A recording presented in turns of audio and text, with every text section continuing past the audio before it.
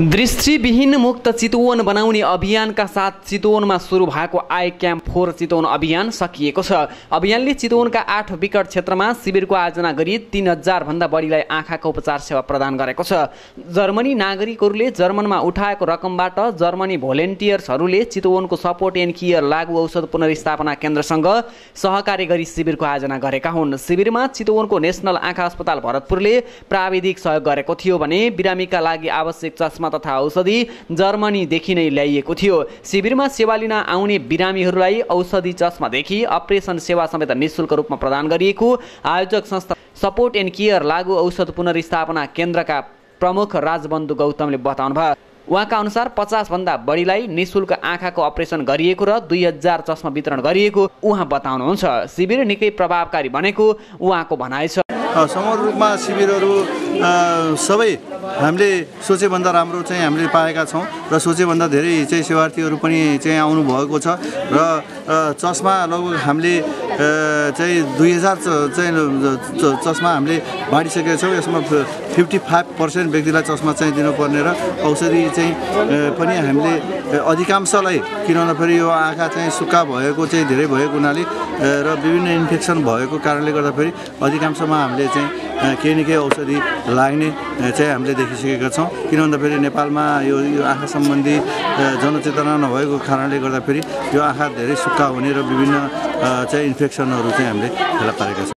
दृष्टि बिनाको सृष्टि अपुरो छ भन्ने मूल मन्त्रका साथ संस्थाले चितवनको राप्ती नगरपालिकाको एक स्थान रत्नगर नगरपालिकाको तिन स्थान भरतपुर महानगरको एक स्थान कालिका नगरपालिकाको दुई स्थान माडीको एक स्थानमा शिविरको आयोजना गरेको थियो। शिविरमा अधिकांश वृद्ध वृद्ध तथा बाल बालिकाहरूको सहभागिता रहेको थियो। शिविरको अन्तिम दिन कालिका नगरपालिकाको विकट क्षेत्र सिद्धिको तिन दोबानमा शिविरको आयोजना गरिएको थियो जहाँ चार सय पन्ध्रजना चेपाङ समुदायका साथै स्कुले बाल बालिकाले आँखा उपचार गराएका हुन्। चितवनको निकै विकट क्षेत्रमा पर्ने सिद्धिमा आँखाको शिविर आयोजना गरी स्थानीय बासिन्दालाई आँखा उपचार निशुल्क रूपमा प्रदान गरिएको भन्दै कालिका नगरपालिका वार्ड नम्बर एघारका वडा अध्यक्ष कृष्णबहादुर प्रजाले खुसी प्रकट गर्नुभयो।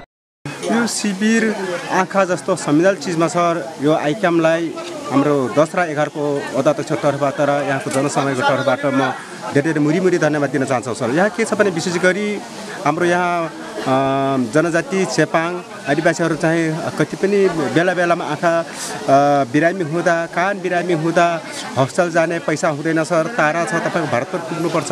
उपचारको कममा भइरहेछ। यहाँ शिविर आउँदाखेरि गत वर्ष गत वर्ष पनि सर यहीँ शिविर राखेर लगभग पैँतालिस चालिसजनाको अप्सन गरेर यदि उद्धार गर्यो सङ्घ संस्थालाई यसको सहयोग गर्ने अझ इक्यामलाई पनि हामीले यो पदमपुरमा हुने आँखा शिविर थियो भने सिद्धिमा गर्नु दस एघार महिना अनुरोध गरेर नगरसँग बसेर मेयर मेयर उपमेयरसँग सल्लाह गरेर यहाँ सिद्धि ल्याएर चलाएको त्यसको लागि त सबभन्दा पहिले पहिले यो आइक्याम जुन यो संस्थालाई मुरी मुरी धन्यवाद दिन चाहन्छौँ सर। पुरानो सिद्धि गाविस अहिलेको कालिका नगरपालिकाको दस र एघार नम्बर वडामा परेको छ। त्यो क्षेत्रमा पन्चानब्बे प्रतिशत चेपाङ समुदायको बाहुल्यता छ।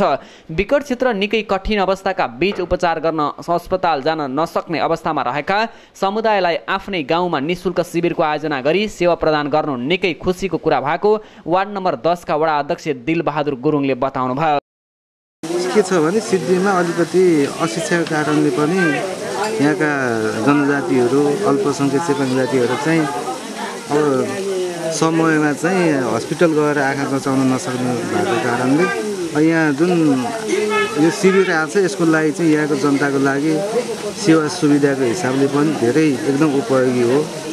जुन अब बाँच्नको लागि एउटा आँखा जस्तो नभई नहुने अङ्ग जुन यहाँ क्याम्प ल्याउनु भयो यसको लागि चाहिँ म जुन यो आयोजक टिमलाई चाहिँ धेरै धेरै धन्यवाद दिन चाहन्छु।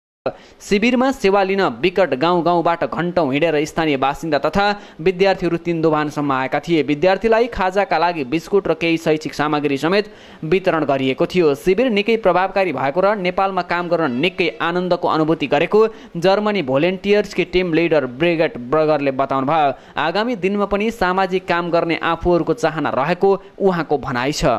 ICAMs, but it come to nine ICAMs, and we're very happy to help our people here in Chitwan, especially the poor people in uh, remote areas. And we're happy to help also small children that they get a better chance to learn.